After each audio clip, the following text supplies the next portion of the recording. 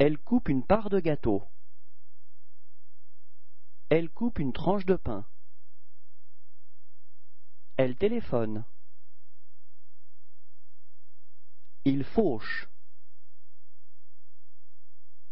C'est une policière. C'est une mécanicienne. Elle regarde un plan.